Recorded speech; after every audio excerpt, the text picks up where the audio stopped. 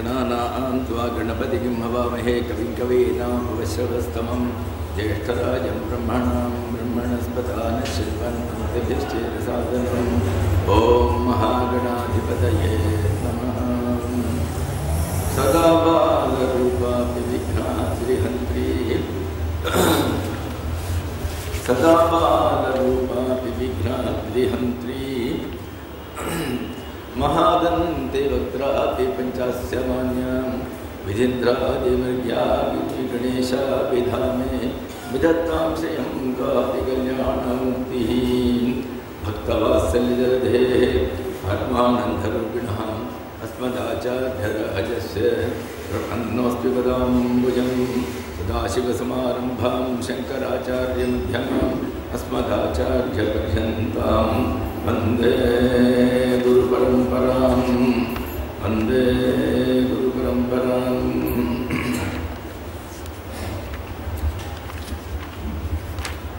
நம்ம தீய ஸ்கந்தத்தில் நேற்றைக்கு ஆரம்பித்தோம் ஸ்ரீமத் பாகவதத்தின் தீய ஸ்கந்தத்தில் பூரா பாகவதமும் ஸ்ரீயப்பதியான ஸ்ரீ பகவான் நாராயணனுடைய லீலைகள் தான் அவருடைய பக்தாளுடைய லீலைகள். அதுதான் நிறைஞ்சிருக்கு திவ்ய ஸ்கந்தங்கிறது சாதன ஸ்கந்தம்னு சொன்னேன் ஞானத்தை அடையிறதுக்கு வேண்டிய சாதனங்கள் என்னென்ன நாம் பண்ணலாம் யாரை ஸ்மரணம் பண்ணணும் அந்த பகவானை சர ஸ்மரணம் பண்ணணும் ஸ்மர்த்தவியா கீர்த்திதவியஷ்டன்னு சொன்னார்.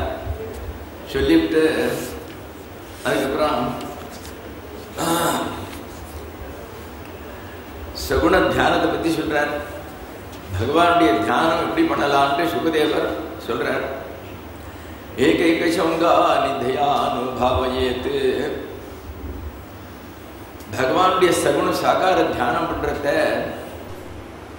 நாம் எல்லாம் வந்து பகவானுடைய அப்படியே அந்த சமக்கிர அங்கங்களோடு அப்படியே பகவான் இருக்கிறா போல பார்க்குறோம் அப்போ மனசு நிற்காது. மனசு நிற்கிறதுக்கு ஒரு உபாயம் என்னன்னா பகவானை சமக்கிர ரூபமாக பார்க்காம நாம் நாராயணர் பகவான் ஸ்ரீ கிருஷ்ணன் நாம் பார்க்குறோம்னா முதல்ல அவருடைய கால் நகங்களை பாருங்க.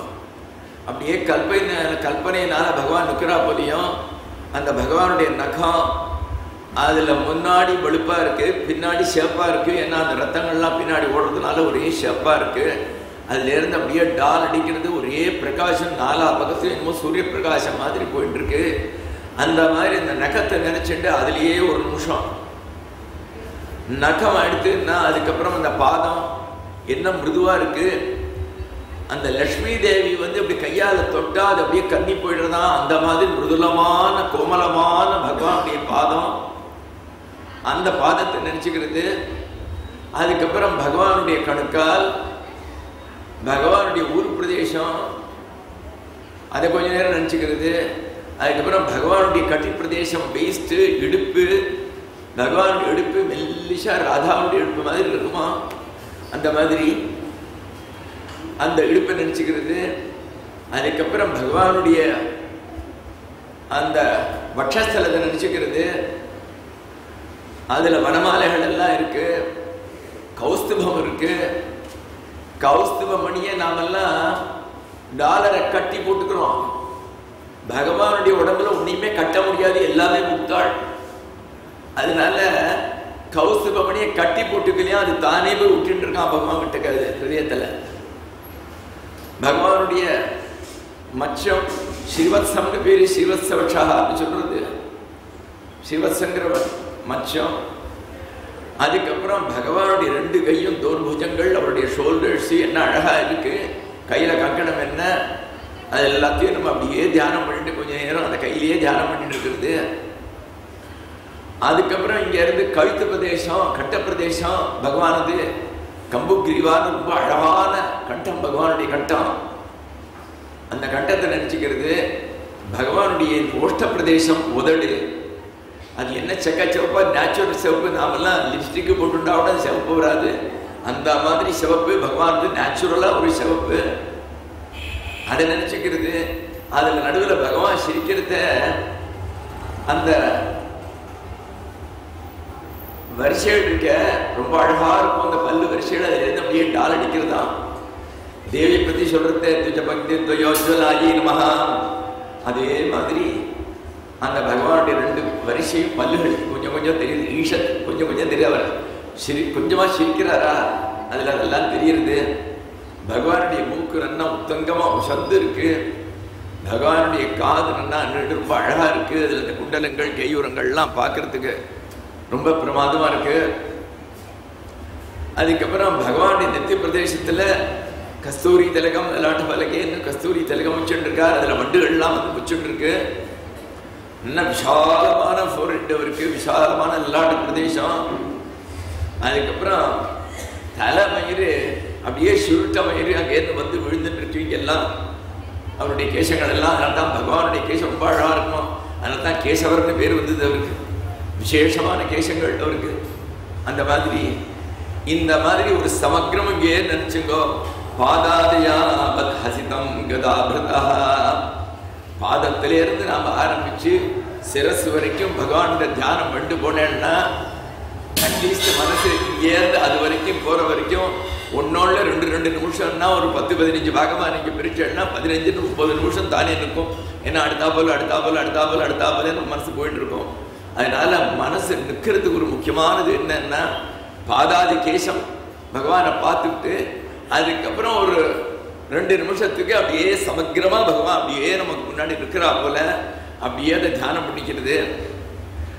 அதுக்கப்புறம் ஒரு ஒரு இடத்துலையும் எவ்வளோ நேரம் நிற்கணும்னா அந்த இடத்துல அப்படியே மனசு லயிச்சு போய் ஒன்றி இருக்கணும். அதுக்கு பேர் அந்த இடத்தினுடைய நிஷ்டை ஜெயம்னு பேர். ஜிதம் ஜிதம் ஸ்தானம் போக்கியதாரையேது பரம்பரம் சுத்த யதாதயா இந்த மாதிரி எத்தனை நாளைக்கு பண்ணிட்டு இருக்கணும் அப்படின்னா உன்னோட புத்தி எல்லாம் பரிசுத்தமாகி யார்கிட்டையும் ராகத்வேஷம் இல்லாமல் எல்லார்கிட்டையும் பரம பிரேமையோட எல்லாரையும் அந்த வாசுதேவனா எல்லாரையும் நாராயண ரூபமா பார்க்குற அந்த சக்தி என்னைக்கு வருதோ அது வரைக்கும் நீங்க அந்த மாதிரி தான் பண்ணிட்டு இருக்கணும் அந்த மாதிரி பகவானுடைய சாகார தியானத்தை சொல்லிவிட்டு அதுக்கப்புறம் நாலு அத்தியாயம் திடீய ஸ்கந்தத்தில் வந்ததுக்கு அப்புறம் திடீர்னு சுகதேவருக்கு ஞாபகம் வந்துடுத்து. அடாடா நாம் பகவானை ஸ்மரிக்காமையே ஆரம்பிச்சுட்டோமே. இவன் ரொம்ப அழகாக கொஸ்டின் கேட்டால் நம்ம பாட்டுக்கு டைரெக்டாக ஆரம்பிச்சுட்டோமே. மங்களாச்சரணம் பண்ணினேன்னு ஞாபகம் வந்துதான். உடனே மங்களாச்சரணம் நிறையா ஸ்லோகங்கள் சொல்கிறார் பன்னெண்டு ஸ்லோகத்துக்கு மேலே சொல்கிறார் அதில் ஒன்றே ஒன்று சொல்கிறேன் எத் கீர்த்தனம் எத் ஸ்மரணம் எதிக்ஷணம் யத்வந்தனம் யச்ரவணம் ஸ்ரவணம் எதர்கணம் லோகஸ்ய சத்யோ விதுனோதி கல்மஷம் தஸ்மை சுபத்ரஸ்ரவசே நமோ நம அந்த பகவானுடைய அந்த ஸ்ரேயஸு கீர்த்தி அந்த பகவானுடைய அந்த மகிமையை நம்ம காதால கேட்டாலே பத்ரம். அவள்லாம் சுபத்ர சிரவசன் பேர் யாரை பற்றி காதால கேட்டால் கேட்கறதே பரம மங்களமோ பரமக்ஷேமமோ அவளை தான் உத்தம சுபத்ரஸ்ரவாக சுபத்ர உத்தம ஸ்லோகா இந்த மாதிரிலாம் நம்ம சொல்கிறோம் அதை சொன்னாலும் புண்ணியம் அதை கேட்டாலும் புண்ணியம். அந்த மாதிரி யாருடைய ஸ்மரணம் யாருடைய கீர்த்தனம் யாருக்கு நமஸ்காரம் பண்ணி யாரை பற்றி கேட்டால் சத்தியகா சத்யா நோத்தி கல்மஷம்னா இன்னைக்கு கேட்டால் அது ஒரு பத்து வருஷம் கழிச்சு அது நம்ம பாவங்கள்லாம் போகணும் இல்லை உடனே அதே நிமிஷத்தில் எல்லா பாவங்களும் போயிடுது. பட் நாம் என்ன பண்ணுறோம் தெரியுமா? மறுபடிக்கும் அன்னன்னைக்கு நிறையா பண்ணிட்டு இருக்கோம். அதனால தான் நம்ம சத்தியாவந்தம் பண்ணுறதை விட அன்னன்னைக்கு அந்த ஸ்லேட்டில் அழிச்சு விடுறோம் சின்ன சின்ன பாப்பங்கள்லாம் அப்பப்போ நம்ம இது பண்ணி விடுறோம் பேர். இந்த மாதிரி வாக்குனால ஹஸ்தத்தினால உதரத்தினால என்னென்ன பாபங்கள் பண்ணினோமோ ஆப்பா புனந்த பிருத்திவி பிருத்திவி போதா புனாத்மாம் புனந்த பிரம்மணஸ்பதி அப்படின்னு சொல்லிவிட்டு அதில் வந்து அகமர்ஷனம் நம்ம பண்ணுறோம் அன்னன்னைக்கு இந்த மாதிரி எத் ராத்திரோ மனசா வாச்சா ஹஸ்தாபியாம் பத்தாம் உதிரேணு சிஷ்ணா நான் ராத்திரி பண்ணதெல்லாம் நீ காலம்புற போயிட்டோம் காலம்பரை பண்ணதெல்லாம் ராத்திரி செலவிட்டு அந்த ராத்திரி அதெல்லாம் போய் தகவலம் பத்து இந்த மாதிரி அப்பப்போ ஸ்லேட் ஆயிடுச்சுட்டு வரும் அப்புறமும் நம்ம நிறையா பண்ணுறோம் அதனால அது உடனே அழிக்கக்கூடியது பாவங்கள் சகல பாவங்களையும். இந்த மாதிரி அவர் சொன்னார். அதுக்கப்புறம் நாரதர் இவாட்ட பிரம்மாட்டக்க போய் நிறையா கொஸ்டின்லாம் கேட்குறார். பகவானை பற்றி இந்த லோகங்களை பற்றி இதை பற்றி எல்லாம் நிறையா கேட்குறார். பிரம்மா வந்து பகவானுடைய பல அவதாரங்களை பற்றி எல்லாம் எல்லா அவதாரங்களை பற்றியும் அவருக்கு சொல்கிறார் சொன்னதுக்கப்புறம்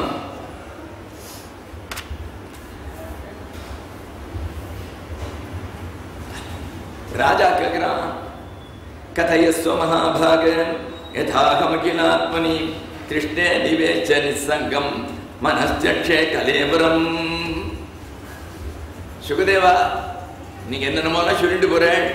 எனக்கு வந்து அந்த மாதிரி சொல்லுங்கோ அதை கேட்டு அப்படியே எனக்கு மோட்சம் கிடைச்சு இந்த சரீரத்தை அதை கேட்டுட்டே நான் பகவானை நினைச்சுண்டு பகவானுடைய பாதகமலத்தை அடையணும்னேக்கு அந்த மாதிரி தான் சொல்லுங்கோ கிருஷ்ணே நிவேச நிசங்கம்.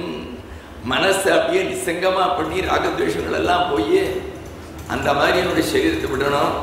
அந்த மாதிரி தான் சொல்லுங்க. தௌதாத்மா புருஷ கிருஷ்ண பாதமூலம் ந முஞ்சதி அந்த மாதிரி எனக்கு கேட்டால் என்ன ஆகும்?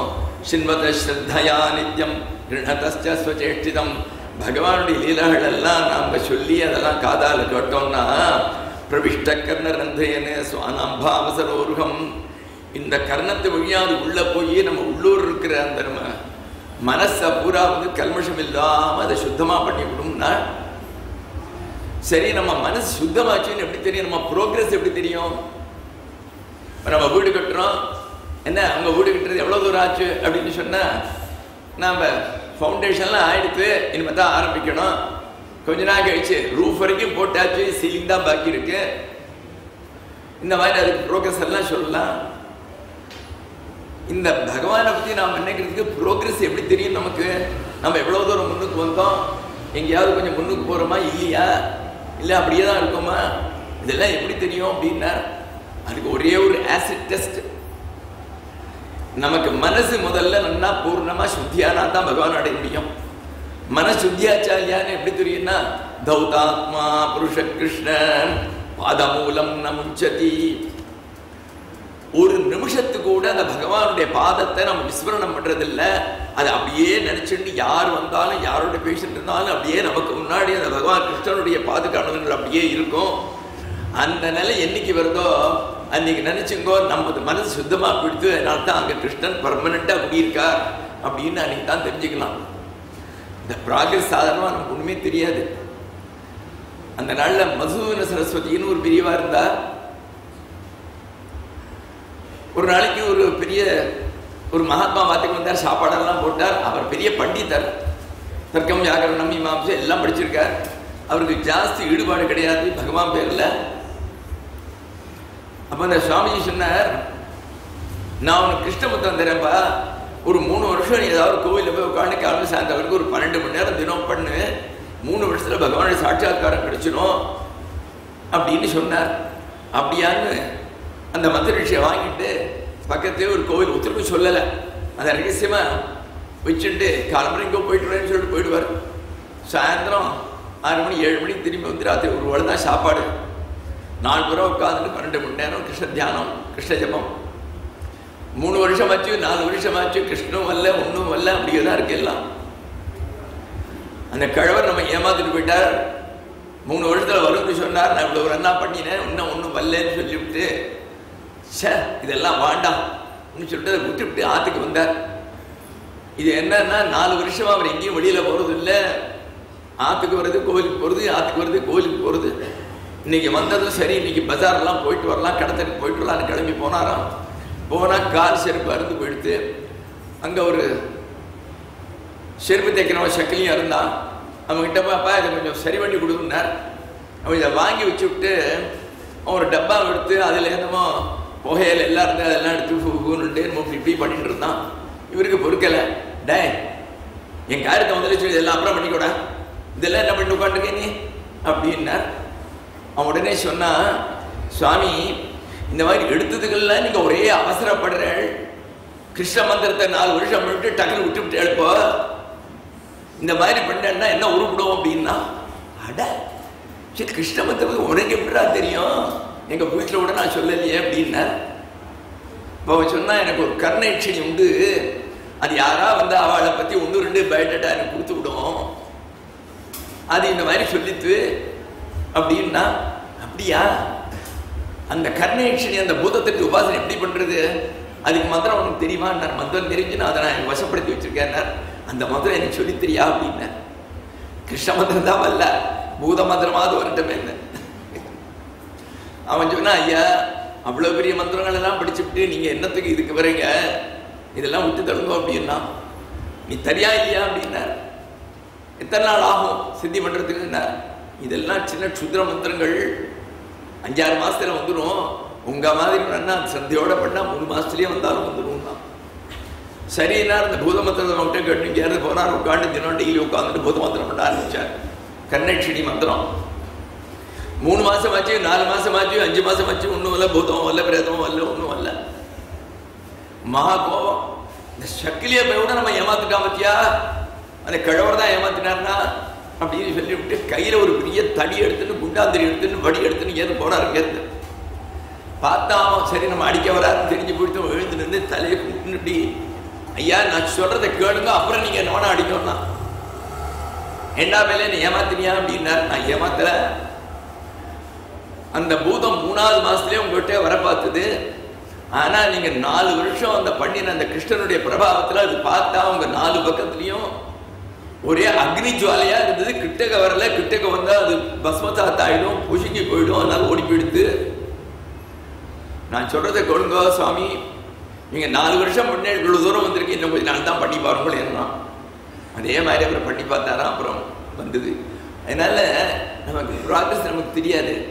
அது வந்து அந்த தைரியத்தோட நம்ம போனோம். ஒரு ஒரு தடவை பகவான் நாம எடுத்தா ஒரு டன் ஆஃப் பாப்பம் போயிடுறது நம்ம இத்தனையோ நிறைய பண்ணி வச்சிருக்கோம். என்ன பண்றது? அத்தனையும் போயாடுமே அதனால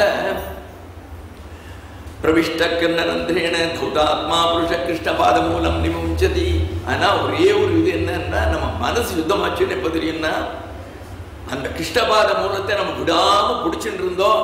அது ஒரு நிமிஷம் கூட விட தோணலைன்னா அப்போ நம்ம கொஞ்சம் ப்ரோக்ரஸ் ஆகியிருக்கோம் நம்ம மனசெல்லாம் இப்போ சுத்தமாக இருக்குதுன்னு அர்த்தம். அதை பற்றி சொன்னேன் அதுக்கப்புறம் பகவான் பிரம்மாவுடைய உற்பத்தி நாராயணனுடைய பாதகமனத்திலிருந்து பிரம்மா உற்பத்தியானார். அவருக்கு நாராயணரை பார்க்கல பார்த்தா பெரிய ஒரே தனியாக கிடக்கு அதில் ஒரு தாமரை தாமரையில் உட்கார்ந்துட்டு இருக்கார். தாமரையில் உட்காந்துருக்கிறத இது என்னது? நமக்கு ஒன்றும் தெரியலையே. நம்ம பகவான் அவருக்கு மனசுல தெரிஞ்சு கொடுத்து நம்ம சிருஷ்டி பண்றதுக்காக நம்ம பகவான் உண்டு பண்ணிருக்காருன்னு. பட் சிருஷ்டி எப்படி பண்றது? ஒன்றும் இல்லை மண் இல்லை கல் இல்லை எதை வச்சுட்டு பண்றது? தண்ணி தான் இருக்கு. அதை வச்சு எப்படி பண்றது? அவருக்கு ஒன்றும் புரியல. அப்போ ஆகாசவாணி வந்துதான் சச்சிந்தயன் அக்ஷரமே கதம்பா ரெண்டு அக்ஷரம் மேலேருந்து வந்து தான் என்னன்னா பதினாறாவது இருபத்தி ஒன்னாவது நம்பர் வந்துதான். க க க க க ச ச ஜ ஜங்க அந்த வர்ணமாலையில் பதினாறாவது வந்து தா அதில் இருபத்தி ஒன்றாவது ப இந்த ரெண்டு அக்ஷரங்கள் வந்து தான் ஆகாசவாணியில் த ப த ப. அதாவது தபஸ் பண்ணுன்னு அர்த்தம். தபஸ்னா என்ன? ஏகாகிரமா என்ன வஸ்து நமக்கு வேணுமோ அதையே நினைச்சுட்டு இருந்தா அதுதான் தபஸ் இந்த தபஸுங்கிறது ஒரு ஒரு சமயத்தில் ஒரு ஒரு அர்த்தம். நான் பிகினிங் பண்ணுறத விரதங்களெல்லாம் பண்ணி சரீரங்கள்லாம் சூழ்ச்சிச்சு. இன்றைக்கி சாப்பிட்றது இல்லை விரதம். இன்னைக்கு வந்து பதினஞ்சு பிடி சாப்பிட்றது நாளைக்கு பதினாலு பிடி சாப்பிட்றது மறுநாளைக்கு பதிமூணு பன்னெண்டு பதினொன்று அந்த மாதிரி பௌர்ணமாசம் ஆரம்பித்து அமாவாசை இன்றைக்கி ஒரே ஒரு பிடி மாத்திரம் சாப்பிட்றது. இந்த மாதிரிலாம் பிராஜாபத்தியம் சாந்திரமானம் இந்த மாதிரிலாம் நிறைய விரதங்கள் சொல்லியிருக்கா இதெல்லாம் பண்ணுறது சரீர ஜோஷனம் தபயித்தி உச்சத்தை அதுக்கப்புறம் மேலே போக போக அந்த ஏகாகிர சித்தமா அந்த பிரம்மத்தையே நினைச்சுட்டு ஆத்மா பிரம்மம் ஒன்று நினைச்சிட்டு இருக்கிறது ஐகாகிரம் தபயித்தி உச்சதே அந்த மாதிரி ஏகாகிர சித்தமா இருக்கிறது தான் பேரு தபஸ்னு பேரு. அதனால நீ தபஸ் பண்ணு உனக்கு எல்லாம் தெரியும் அப்படின்னா இவர் தபஸ் பண்ண ஆரம்பிச்சார். அங்க சாட்சாத் பகவானுடைய ஒரு சாட்சாத்காரமாச்சு. அந்த சமயத்தில் பகவான் அவருக்கு எல்லா தத்துவத்தையும் சொன்னாரா? நாலே ஸ்லோகத்தில் முதல்ல பிரம்ம தத்துவம் பிரம்மம்னா யாரு என்ன அதை பத்தி முதல் ஸ்லோகம் நாலே ஸ்லோகம். அதுக்கு பேரு சதுஸ்லோகி பாகவதம்னு பேரு. ரெண்டாவதுல வந்து மாயா தத்துவம் மூணாவதுல வந்து ஜெகத் தத்துவம் நாலாவது ஒரு மனுஷன் என்ன தெரிஞ்சுக்கணும் அப்படின்னு கன்க்ளூட் பண்றார் கன்க்ளூஷன் இந்த மாதிரி நாலு தத்துவங்களை பத்தி சொன்னார் அவர். அதுல அகமேவாசமேவாகிரேம் நான் சரசத்பரம் எல்லாத்துக்கும் முன்னாடி பிரளயத்துக்கெல்லாம் முன்னாடி சிருஷ்டியே இல்லாத போது யார் இருந்தா? அப்படின்னா பகவான் சொல்றார் நான் தான்டா இருந்தேன் நான் தான் ஒன்லி ரியாலிட்டி என்னை விட்டா வேற கிடையாது நான் ஒத்தந்தான் சத்திய வஸ்து. சத்து சித்து ஆனந்தங்க ரூபத்தோட கூடிய நான் தான் இருந்தேன். வேற ஒருத்தர் அகமேவா அதமேவாங்கிறேன் வேற ஒன்றும் காரிய காரணங்கள் இதுலேருந்து அது வந்தது அதுலேருந்து வந்தது அப்பாலேருந்து பிள்ளை வந்தால் மண்ணிலேருந்து குடம் வந்தது அதெல்லாம் ஒன்றுமே கிடையாது. எந்த விதமான காரணமோ காரியமோ காசோ எஃபெக்டோ ஒன்றுமே கிடையாது. இவர் மாத்திரம்தான் இருந்தார். பశ్చాதகம் எதே தச்ச யோகசிஷ்யேது சோஸ்மியம். எல்லாரும் போய் ஒரே மிக பிரளயம் வந்தாச்சு. அப்போ யார் பாக்கி இருக்காருன்னு சொன்னால் அவர் தான் பாக்கி இருக்கார். அப்பவும் அவர் தான் இருக்கார். அந்த மாதிரி எப்பவும் ஒரு அழிவற்று அப்பவும் இருந்து இப்பவும் இருந்து இன்னும் பின்னாடியும் இருந்து வேற ஒன்றும் இல்லாத போது யார் இருக்காளோ அவள் தான் சாட்சாத் பகவான். இதை பற்றி நிறைய ஹிம்ஸ் வருது. நாசதீய சூக்தம்னு சொல்லிவிட்டு ரிக்வேதத்தில் வருது. அதில் எது இருந்ததுன்னா வேறு ஒன்றும் இல்லை ஒன்றே ஒன்று தான் இருந்ததுன்னு சொல்லிவிட்டு அந்த நாளில் அவ ரிஷிகள் எவ்வளவு தூரம் அவன் பார்க்க முடியுமோ பார்த்தது நமக்கு எழுதியிருக்கா. ஏன்னா அனிர்வச்சனியம் இதெல்லாம் வாயால் சொல்ல முடியாது. இருந்தாலும் ஜனங்களுக்கு ஏதாவது கொஞ்சமாவது சொல்லணுமேனு அவள் கஷ்டப்பட்டு கொஞ்சம் கொஞ்சம் அதை பற்றி எல்லாம் நமக்கு ஹிண்ட் கொடுத்துருக்கா. இதுதான் ஆசிரியர் சுத்தம்னு பேர். அதுக்கப்புறம் இந்த மாய மாயங்கிற மாதிரி என்னது அப்படின்னு சொன்னா நிருதய அர்த்தம் எத் பிரதீயத ந பிரதீயத சாத்மனி தத்வித்யாத் ஆத்மனோ மாயாம். மாயேன்னு ஒண்ணுமே கிடையாது. யா மா மாயா. யா மா எது இல்லையோ அதுக்கு பேரு மாயான்னு பேரு. இந்த மாயான்னா இவாள்லாம் இங்கிலீஷ் இல்யூஷன் இல்யூஷன்லாம் பண்ணி மாயாவாதி அப்படி எல்லாம் சொல்லிட்டு இருக்கா சங்கர் அவளுக்கு புரியல. மாயான்னா என்னன்னு? நமக்கு என்னது ஏன் என்ன எந்த இடத்துல தெரியலையோ அதுக்கு பேர் மயான் பேர் வச்சோம் இப்போ கையில் இந்த டப்பாவை காட்டி குழந்தைகளுக்கு இப்படின்னு விட்டு அப்படியே காட்டி திருப்பத்தியா அப்படின்னு விட்டு எங்கே போச்சு? அப்படின்னு கேட்டால் இந்த குழந்தை என்ன சொல்லணும்? மேஜிக் அப்படிங்கும். ஏன்னா அது தெரியாது எங்கே போச்சுன்னு. எங்கேயோ போச்சுங்கிறது ஃபேக்ட்டு முதல்ல இருந்துங்கிற ஃபேக்ட்டு இது ஏன் இப்போ திடீர்னு போச்சு? எப்படி போச்சு? எனக்கு தெரியல. அதனால அதுக்கு பேர் மேஜிக்னு பேர் வச்சோம். அதை வந்து நம்ம அத்வைத்தத்தில் மாயான்னு பேர் வச்சா அவ்வளோதான் நமக்கு எதெல்லாம் ஏன் பரபிரம்மம் சுத்தமானது அதுக்கு ஒன்றும் கிடையாது அது தனியாக இருந்தது அது எப்படி பகுரூபமாகி இத்தனை ரூபம் எடுத்தது அத்தனை ரூபம் தான் எடுத்தது அதனுடைய ஒரிஜினல் கேரக்டர் அதனுடைய ஸ்வரூபம் இல்லாதபடிக்கு காமம் குரோதம் லோகம் மோகம் இத்தனையும் வச்சு நம்மளெல்லாம் டிஃப்ரெண்ட் டிஃப்ரெண்ட் கேரக்டர் வெவ்வேறு குணாதிசயங்கள் இந்த மாதிரிலாம் எப்படி பண்ணித்து இதுக்கெல்லாம் ஏன்னு கேட்டால் அதுக்கெல்லாம் ஆன்சர் கிடையாது. அதைத்தான் மாயான்னு சொன்னால் ஆனால் இந்த மாயாங்கிறது நமக்கு ஜீவனுக்கு வந்து ஒழிய இந்த சிருஷ்டி பண்ணதுக்கு அப்புறம் ஆத்மாவில் மாயாங்கிறதே கிடையாது. ஆனால் அந்த பகவானுடைய சக்தி தான் நம்ம மாயா நம்ம வச்சுட்டு இருக்கோம். பகவான் வேற பகவானுடைய சக்தி வேற கிடையாது. பகவானே தான் அவருடைய சக்தி. அதைத்தான் நம்ம மாயாங்கிறோம். இப்போ நமக்கு திடீர்னு ராஜவழியில் படுத்துன்னு இருக்கிறதே சொப்னம் வந்தது. சொப்பனத்தில் நான் ராஜாவாக இருக்கேன். இப்போ நான் பிச்சைக்காரன் சொப்னத்தில் பெரிய ராஜாவும் இருக்கேன் ஏராளமாக தங்கத்தில் எல்லாம் கொட்டி கிடக்கு. பெரிய ஹேம கிரீட்டங்கள்லாம் வச்சுட்டு சௌக்கியமாக இருந்துட்டுருக்கேன் அது எப்படி வந்தது? ராத்திரி தூங்கிட்டு இருக்கிறோமா? இந்த ரூமுக்குள்ளே ஒத்துரு நுழைய முடியாது. பெரிய இது ராஜ்யம். அதில் ஆயிரம் பேர் இருக்கா அந்த ரூமுக்குள்ள? அது எப்படி வந்தது? இதெல்லாம் சொல்ல முடியாது. அதனால இதெல்லாம் தான் மாய. அதே மாதிரி பகவானுடைய சுப்ரம் தான் நாமெல்லாம். எப்படி வந்துட்டு சொல்ல முடியல. அதனால பட் பகவான் இல்லைன்னா அஃபெக்ட் ஆகிறாரோ ஆறுதில்ல. அந்த ஆத்மா அஃபெக்ட் ஆகிறதில்ல பரமாத்மா அஃபெக்ட் ஆகிறதில்ல அதுதான் நான் பிரதீயத்த சாத்மனி. ஆத்மாவில் வந்து மாயாவே கிடையாது மாயா தெரியறதில்ல. அதுக்கு தான் பேர் ஆத்மாவுடைய மாய அப்படின்னு சொன்னான் இந்த மாதிரி சொல்லிவிட்டு தித்திய ஸ்கந்தம் இதோட முடிஞ்சு கொடுத்து அடுத்தாப்புல தித்திய ஸ்கந்தம் தித்திய ஸ்கந்தத்தில் ஆரம்பம் விதுரௌத்தவ சம்வாதம் விதுரர் வந்து தசராஷ்டருடைய கடைசி பிள்ளை யமதர்மராஜரையும் விதுரா வந்திருக்காருன்னு சொல்லுவார். நாமெல்லாம் சாதாரண கதைகள்லாம் சொல்லுவோம். கிருஷ்ணர் புனாராக்கம் அதில் ஒன்றுமே இல்லையாக்கும் கீரை தான் சமைச்சு போட்டானெல்லாம். ஆஹ் இவ என்ன சொல்லிருக்காருன்னா க்ஷத்ராமனம் பிரவிஷ்டுவேன்னு தெக்வா சகுர்கமிருத்திமது தன்னோட எல்லா ஐஸ்வர்யங்களும் சம்பத்தால் நிறைஞ்ச பெரிய வீடு தன்னோட சொந்த வீட்டை விட்டு விட்டு கிளம்பி போனார் யாத்திரைக்குன்னு போட்டிருக்கேன் ஏன்னா விதுர ராஜாவோட தம்பி அவரை கொண்டு போய் பிச்சைக்கார மாதிரி ஒத்துணை வச்சிருக்க மாட்டான் இதெல்லாம் சிலதெல்லாம் நாம கதை பண்ணியிருக்கோம். இப்போ நந்தனார் கதை இருக்கு. நம்ம காஞ்சி பெரியவா எழுதியிருக்க புஸ்தகத்தில் நீங்கள் பெரிய புராணத்தை படித்து பாருங்க. இந்த நந்தனார் கதை வாழலாம் சொல்றதெல்லாம் தப்பு. இது வந்து பாரதி வந்து ஜனங்கள் அட்ராக்ட் பண்ணுறதுக்காக இந்த மாதிரி ஒரு கதை ஒன்று அதை பண்ணிவிட்டு எங்கிட்டயே வந்து அதுக்கு ஒரு இன்ட்ரொடக்ஷன் எழுதி கொடுங்கன்னா நான் மாட்டேன்னு சொல்லிவிட்டேன். இந்த மாதிரி தப்பு பொய்யெல்லாம் எழுதியிருக்கேன். நான் மாட்டேன்னு சொல்லிவிட்டேன்னு எழுதியிருக்கேன் அவர் சொல்லியிருக்கார். அந்த தெய்வத்தின் குரலில் ஒரு சாப்டரில் இருக்குது அந்த மாதிரி எல்லாம் ஸோ அந்த மாதிரி வந்தது. விதுரர் நல்லா பணக்காரர் நல்லா பணத்தெல்லாம் இருந்து நல்ல சமிருத்தியோடு இருந்தவர் அவர். ரித்திமத்து நல்லா சம்பத்தெல்லாம் நிறைஞ்ச வீடு அப்படின்னு சொல்லியிருக்கு. அவர் அந்த யுத்தத்தில் அவருக்கு சம்மந்தப்படுத்திக்க இஷ்டம் இல்லை துரியோதனை கண்டபடி பேசினா இவர் திருதராஷ்டனுக்கு எல்லாம் சொல்லி கொடுத்தார். இதில் என்ன வேடிக்கைன்னா இந்த புராணங்கள்ல எல்லாம் வர எல்லா பேருக்கும் ஒரு ஒரு அர்த்தம் இருக்கு முக்கியமான அர்த்தங்கள் இருக்குது திருதராஷ்டிரன் கண்ணு தெரியாதவன்.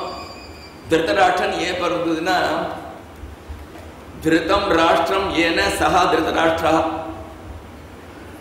அந்த சேரை பிடிச்சிட்டு இந்த சேரை விடமாட்டேன் நீ என் பிள்ளைக்கு தான் என் பிள்ளைக்கு பிள்ளைக்கு தான் நான் வேறு தரமாட்டேன்னு சொல்லி அதையே பிடிச்சி உட்காந்துருக்கிறது தன்னுடைய ராஜ்யத்தை. அவள் தான் திருதராஷ்டிரம் அந்த மாதிரி என் பிள்ளைக்கு தான் தருவே ஒருத்தன் தரமாட்டேன் அப்படின்னு சொன்னால் அவள்லாம் தேர் பிளைண்ட் டு ஜஸ்டிஸ் அவளுக்கு நியாயம் அநியாயம் எல்லாம் இதெல்லாம் தெரியாமல் அவள்லாம் குருடு தான் வாழலாம் அதனால தான் அவரை குருடா போட்டா திருதராஷ்டர அதே மாதிரி இந்த பின்னாடி எல்லாம் வரப்போகிறது இந்த திரிய ஸ்கந்தத்தில் ரெண்டு கதை முக்கியமானது. ஒன்று என்னன்னா வராக அவதாரம் அதில் ஹிரண்யாட்சன் ஹிரண்யகிசிப்பு ஒன்று பூர்வ மீமாசை ஒன்று உத்தர மீமாசை பூர்வ மீமாசை பூரா யாகம் யஜ்யம் அதனால யாகத்துக்கு பற்றி வராகம் வராக அவதாரம் அதுதான் பூர்வ மீமாசை உத்தர மீமாசை பூரா வந்து வேதாந்தம். அதுதான் கபிலர் சொல்ல போறார் தேவபூத்திக்கு இந்த ரெண்டு விஷயம் வந்து தான் துதிய ஸ்கந்தம். ஸோ இந்த துதிய ஸ்கந்தத்தில் ஹிரண்யகிசிப்பு ஹிரண்யாட்சன் வரப்போறா. அதுக்கு என்ன அர்த்தம்னா ஹிரண்யாட்சன் என்ன அர்த்தம்? யாருடைய கண்ணு தங்கத்திலேயே இருக்கும் எனக்கு நான் பைசா ஆகணும் பைசா ஆகணும் பைசா ஆகணும் பைசா ஆகணும் அவனுக்கு தான் ஹிரண்யாட்சன் பேர். இவா தான் அசுரா. பகவத்கீதையில் கடைசியில் இந்த பதினாறாவதுலையும் என்னமோ வந்து அந்த தெய்வாசுர சம்பத் விபாக யோகான்னு வருது. அதில் அசுரன் யாருன்னா இவ்வளோ தூரம் நான் சேமித்து வச்சு விட்டேன் இன்னும் இவ்வளவு தான் எனக்கு தனம் போகணும் இது நான் பண்ணி விட்டேன்னா அப்புறம் சௌக்கியமாக இருப்பேன் அப்படின்ட்டு பைசாக்கு பின்னாடி போயிட்டு தனத்தை சேகரிச்சுட்டு எல்லாம் இது ஓணும் இது வேணும்னு யார் சொல்லிருக்கானோ அவளை தான் அசுரா. அசுராங்கிறது எப்படி வேர்டு வந்ததுன்னா அசுஷு ரமந்தேதி அசுரா. அதாவது பிராணனுடைய வேலை சந்தோஷமாக இருக்கணும் ஜாலியாக இருக்கணும் எல்லா போகமும் போகணும் அப்படின்னு விட்டு அந்த பிராணனுடைய வேலையில இந்த மாதிரி போகம் போகணும்னு போகத்திலே யார் ரமிக்கிறாளோ அவள் அந்த அசுரா. போக ஐஸ்வர்ய பிரசக்தானாம் தயா அபகிருத சேத்தசாம் விவசாயாத்மிகா புத்தி சமாதோன விதீயதே. அந்த மாதிரி நம்ம அசுர குணங்கள்லாம் முடிச்சுட்டு இருந்தோம்னா நம்ம உட்கார்ந்துருந்தோம்னா பகவான் பேரில் மனசு லீக்காதுன்னு விட்டு பகவத்கீதையில சொல்லியிருக்காரு. அப்போ இவர் அந்த யாத்திரையில் போயிட்டு முதல்ல உத்தவரை பார்த்தார். உத்தவர் பகவான் ஸ்ரீ கிருஷ்ணரோட முக்கியமான ஒரு பார்ஷதர். அப்படியே தன்னை மித்திரனாவே இவர் வச்சுட்டு இருந்தார் உத்தவரை. அவர் சொல்லுவார் என்னை விட கொஞ்சம் கூட குணங்கள்ல குறைஞ்சவன் இல்லை. இவன் எனக்கு ஈக்குவல் மத்சமகா அப்படிம்பர் பகவான் ஸ்ரீகிருஷ்ணன். தவாரி உத்தவர். உத்தவரை பார்த்ததும் இவர் கேட்கிறார் அந்த பகவான் கிருஷ்ணன் எப்படி இருக்கார்? சௌக்கியமா இருக்காரா? உங்களுக்கு தெரியுமான்னு கேட்கிறார். இதுக்குள்ள கிருஷ்ணன் போயாச்சு அவர் கிளம்பி போயாச்சு. இந்த தேகத்தெல்லாம் விட்டுவிட்டு அதை பத்தி அவர் சொல்ல போறார். இவர் சொன்னதும் உடனே பதில் ஆரம்பிக்கல. கிருஷ்ணனா சௌக்கியமா இருக்கா இல்லையே அப்படின்னு ஆரம்பிக்கலையாம் இதுல வந்து நமக்கு ஒரு முக்கியமான ஒரு சாதனை சொல்லியிருக்க நாம் பகவானே நினைச்சுட்டே இருக்கணுங்கிறோம். ஆஃபீஸுக்கு போகிறோம் அங்கே போகிறோம் இங்கே போகிறோம் பகவான் எங்கே நினைக்க முடியும் நமக்கு? சத்தத்தமாக நினைக்கிறதுனா முடியும்? ஆதிரியை உட்காந்துருக்கோம்னா பரஹாப்ஸ் அது கூட முடியறதில்ல. அதுக்காக என்ன சொல்கிறாருன்னா தினம் நம்ம வெளியில் போகிறோம் ஆற்றுல உட்காந்துருக்கோம் காலம்பே சாயந்தரம் வரைக்கும் நம்மளை யாரோ வந்து என்னென்னமோ கொஸ்டின் கேட்குறா நீங்கள் வெளியில் போயிட்டே இருக்கிற ஒருத்தர் வேறு என்ன டைம் ஆச்சுன்னு கேட்குறாரு நீங்கள் உடனே பார்த்துட்டு பதில் சொல்கிறேன் ஆற்றுல அவங்க இருந்து உங்கள் பிள்ளை வரான். அப்போ நான் ஒரு மாதம் வந்து லீவ் எடுத்துட்டு ஆத்துக்காரியோட நான் டேரூர்லாம் போயிட்டு வரலான்னு இருக்கேன். நான் போயிட்டு வரட்டுமான்னு ஒரு விஷயம் கேட்குறான் இந்த மாதிரி காலமே ஆஃபீஸுக்கு போகிறேன் நீங்கள் பேங்க்கில் வேலையாக இருக்கேன். அங்கே ஒரு தவறா இதுக்கு அட்வைஸ் வந்துருத்தா அந்த பேங்க் டாக்டருக்குன்னு கேட்குறான் இந்த மாதிரி இரநூறு தடவை இரநூறு கொஸ்டின்ஸ் கேட்பா தினம். இந்த கொஸ்டினுக்கெல்லாம் அவளுடைய கேள்விக்கெல்லாம் நீங்கள் ஆன்சர் பண்ணுறதுக்கு முன்னாடி ஒரு நிமிஷத்துக்கு பிருஷ்டோ வார்த்தாம் பிரதிப்ரூயாது பக்துப்பாதாவனுஸ்வரன்னு யாராவது இந்த மாதிரி உங்களுக்கு கஷ்டப்பட்டா ஒரு நிமிஷம் அந்த பகவான் நினச்சிண்டு நாராயணா நாராயண ரெண்டு தடவை சொல்லிவிட்டு டைம் அப்பா மணி எட்டாரதே அப்படின்னு சொல்லுங்க. அதே மாதிரி அவன் கேட்டான்னா அட்வைஸ் வந்துடுத்தா பேங்க் டிராஃப்ட்டுக்குன்னா ரெண்டு தடவை நாராயணா நாராயணான்னு சொல்லிவிட்டு இறங்கி சொல்லுங்க மனசுக்குள்ள சொல்லுங்க. ரெண்டு தடவை சொல்லிவிட்டு அதுக்கப்புறம் வரலையப்பா இந்த மாதிரி அட்வைஸே இன்னும் வரலையே இன்னைக்கு வருமா என்னமோ டாக்கில் அப்படின்னு சொல்லுங்க. அந்த மாதிரி அதே மாதிரி ஆத்துல லேடி இருக்கா? குழந்தை வந்து கேட்கறது அம்மா இன்னைக்கு ப்ளூ ஃப்ராக் போட்டு போட்டோமா ஸ்கூலுக்கு ஏடி நேற்றுக்கு ப்ளூ ஃப்ராக் தானே போட்டு போனேன்? அப்படின்னு சொல்றதுக்கு முன்னாடி ஒரு நிமிஷம் ரெண்டு தடவை ஸ்ரீராம் ஸ்ரீராம் சொல்லிவிட்டு நேற்றுக்கு தானே குழந்தை போட்டுட்டு போனேன் இன்னைக்கு ப்ளூ ஃப்ராக் மாட்டாமா க்ரீனை போட்டுட்டு போ. அந்த மாதிரி. இந்த மாதிரி நீங்கள் சொன்னேன்னா இது வந்து நம்ம டெய்லி லைஃப்லேயே நாம் வந்து அதை பகவத் ரூபமாக பண்ணுறோம் ஏன்னா பகவானுக்குன்னு டைம் வச்சுட்டு உட்கார முடியல. அதனால நீங்கள் பண்ணுறதெல்லாம் பகவத் ரூபமாக பண்ணுறதுன்னா எப்படி? இது ஒரு சுலபமான மெத்தட் சொல்லி கொடுத்தா பிருஷ்டோ வார்த்தாம் பிரதி புரியாது யாராவது ஒரு கொஸ்டன் கேட்டான்னா உடனே பதில் சொல்லாதீங்கோ. பர்துபாதா பனுஸ்மரன்னு அதே மாதிரி டெலிஃபோனில் யாரோ வரா ஏதோ பெல் வருது. எடுத்துக்கிட்டு நம்மளாம் என்ன பண்ணுறோம் ஹெல் ஓ ஹெல் ஓ காலம் பொழுது நரகத்தை நினைக்கிறோம். ஹெல் ஹெல் ஓங்கிறோம் நாம் அதுக்கு பதிலாக ஹரியோம் ஹரியோம் ஹரியோம் சொல்லிட்டு போகிறோம் ஹரியோம்னா என்ன அர்த்தம் தெரியுமா? இந்த லோகத்தில் என்ன பண்ணிட்டு உட்காந்துருக்கே உன்னோட வீடு அங்கே இருக்கு ஹரி ஹோம்னு அர்த்தம். சீக்கிரம் வீட்டுக்கு போங்கன்னு அர்த்தம் அதுதான் எத் விஷ்ணு பரமம் பதம். அதுதான் நம்ம வீடு. இங்கே என்னது உட்காந்துருக்கே சீக்கிரம் போகணும்னு அர்த்தம். அதனால ஹரியோம்னு அவனை ஞாபகப்படுத்துகிறோம் இங்கே உட்காந்து என்ன பண்ணிருக்கேன் பகவத் பார்த்து போனோம் ஞாபகம் வச்சுக்கோன்னுட்டு ஹரியோம்.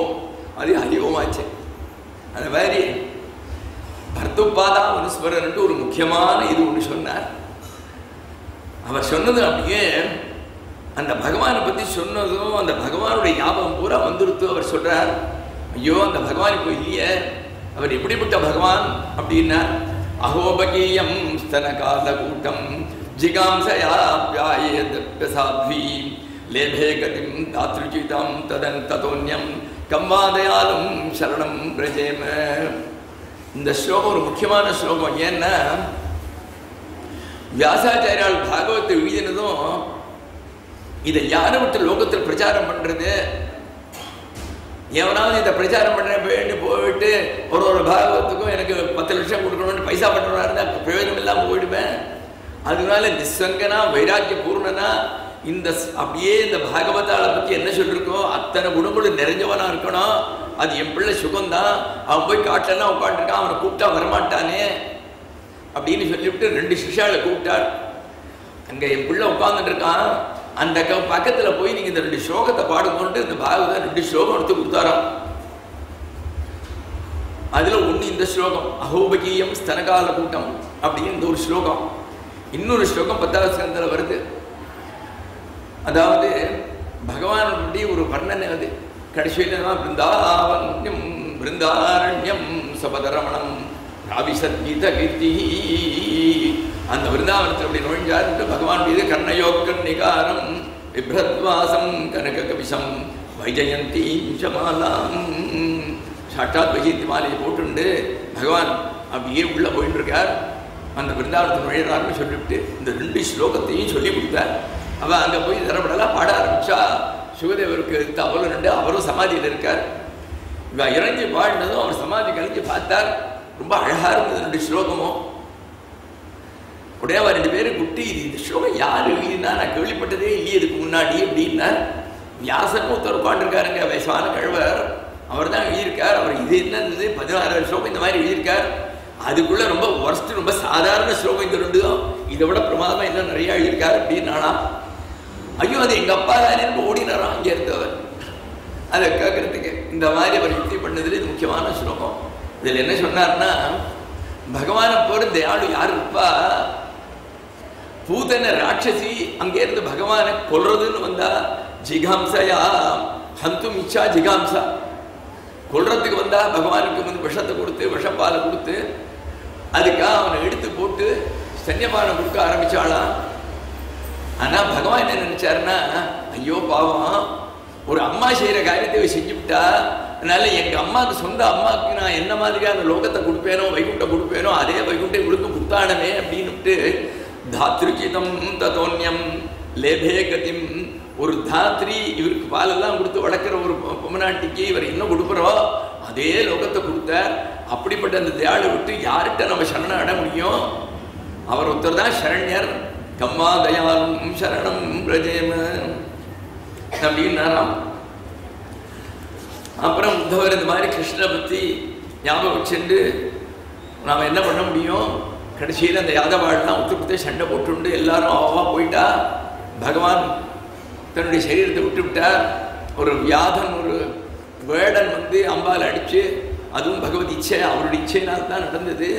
அப்படின்னு சொன்னதும் இவர் ஒரு கொஸ்டின் கேட்டார். அது சரி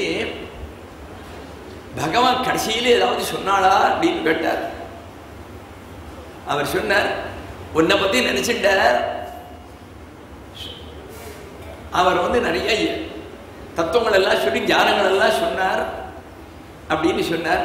அப்படியா? கொஞ்சம் எனக்கு சொல்லுங்களேன். அவர் கடைசியில் என்ன ஞானங்கள்லாம் சொன்னாருன்னா அது நான் சொல்றதுக்கு லாயக்கு இல்லை. என்னோட கூட மைத்திரேயர் இருந்தார். அவர் வந்து மைத்திரட்டு சொல்லி இந்த ஞானத்தெல்லாம் நீ உத்தவனை பார்த்தா கொடு. இதை விதுரனை பார்த்தா கொடு. அப்படின்னு உன்னை நினைச்சிட்டார். கடைசி காலத்துல என்னார் நாம் பகவான கடைசி காலம் நினைக்கிறது பெரிய புண்ணியம்னா பகவான் அவருடைய லீலா சரீரத்தில் கடைசியில் நினைச்சு நம்ம நினைச்சுட்டாருன்னா அது எவ்வளவு பெரிய விஷயம் அது. அதனால சாட்சாத் பகவதா திஷ்டா மர்த்திய லோகம் ஜிஹாசதாம். இந்த லோகத்தை விட்டுவிட்டு ஜிஹாசானா ஆத்துமிச்சா அது விட்டுட்டு போகிறதுக்காக இருக்கிறத பகவான் உன்னை நினைச்சுட்டாருப்பா அதனால பகவானே அவருக்கு ஆதேசம் கொடுத்துட்டு போயிருக்கார். நீ போய் மைத்ரேயரை பாரு அப்படின்னார். இங்க இருந்து கிளம்பி மைத்ரேயர்கிட்ட போகிறார் அப்புறம் மைத்ரேயரை பலவிதமான கொஸ்டன் எல்லாம் கேட்டார் அவரை அந்த மாதிரி. அதுக்கப்புறம் இந்த கிரியேஷனை பற்றி போட்டிருக்கா செட்டி எல்லாம் அத்வைதத்தம்படிக்கு நாம் இந்த சிருஷ்டியெல்லாம் நாம் வந்து உண்மையான சிருஷ்டியாக நினைக்கிறது இல்லை எப்படி நம்ம சொப்னத்தில் நம்ம சிருஷ்டி பண்ணுறோமோ பெரிய பட்டணங்கள் எல்லாம் அதே மாதிரி தான் ஏன்னா இதை பற்றி பிரம்மசூத்திரத்தில் அவள் டிஸ்கஸ் பண்ணுறா ஏன்னா இதெல்லாம் வரிசையாக சொல்லிட்டு வரா. ஆகாஷாத் வாயு வாயோரக்னி அக்னேராப அத்த பிருத்திவி பிருத்திவியா உடதேயா அப்படின்னு சொல்லிட்டு இதுலேருந்து அது வந்தது அதுலேருந்து வந்தது. முதல்ல ஆகாசத்தை படைச்சார்? ஆகாசத்துலேருந்து பிருத்திவி வந்தது பிருத்திவியிலேருந்து இது வந்தது. இந்த மாதிரி எல்லாம் எல்லாம் போட்டிருக்கா? இந்த கிரமம் ஒரு ஒரு உபரிடத்தில் ஒரு ஒரு மாதிரி இருக்கு. இதில் எது உண்மைன்னு கேட்டு இதில் ஒன்றுமே உண்மை இல்லைப்பா. இதெல்லாம் சில பேருக்கு இந்த மனசில் வரும். அந்த இந்த சந்தேகம் தான் அவன் மேலே போவான் சிருஷ்டினா அவன் எதை முதல்ல பண்ணினார் எத்தனை நாள் பண்ணார் இதே மாதிரி தான் பைபிளில் பதினஞ்சு நாளோ இருபது நாளோ எல்லாத்தையும் பண்ணிவிட்டு பாடான்னு இப்படி கீழே போகுது அந்த இதெல்லாம் எடுத்துவிட்டு உட்காந்து நேரம் போட்டிருக்கு. பகவான் நினச்ச மாத்திரத்தினால பண்ணினார் அவ்வளவுதான். ச ஐட்சத பார்த்தார் உடனே வந்துருத்து. அவ்வளோதான் ஐட்சத வேணா அந்த இடத்துல சங்கல்பம் பண்ணினார் சங்கல்ப மாத்திரத்தினால சிருஷ்டி. அத்தனையும் வந்து விடுது ஆனால் இதெல்லாம் வந்து ஜனங்களுக்கு ரஞ்சகமாக இருக்கணும். அப்பதானே புராணத்தை கொஞ்சம் படிப்பா. அதுக்காக ரெண்டு நிமிஷம் சர்க்கம் விசர்க்கம்னு ஒன்று முதல்ல வந்து ரா மெட்டீரியல் பஞ்சபூதங்கள் இதெல்லாம் உண்டு பண்ணுறது சர்க்கம். பிரைமரி கிரியேஷன் சொல்லுவா. செகண்டரி கிரியேஷன் அதுக்கப்புறம் அதுலேருந்து மனுஷா தேவா கந்தர்வா கிண்ணரா இவாளெல்லாம் உற்பத்தி பண்ணது. இதெல்லாம் பற்றி சொல்கிறா எப்படி பரமாணுலேருந்து எல்லாம் வந்தது? ஆகாரம் எப்படி வந்தது. அது எல்லாத்தையும் சொல்லிவிட்டு அதுக்கப்புறம் வராக அவதாரோடைய கதை ஆரம்பிக்கிறார். வராக அவதாரத்தில் கஷ்யபர் அவருக்கு ஏராளம் பத்திரிகைகள் உண்டு. அதில் முக்கியமானவள் திதி அதித்தின்னு ரெண்டு பேர். திதியனுடைய பிள்ளை எல்லாம் தைத்யாள் அசுராள்.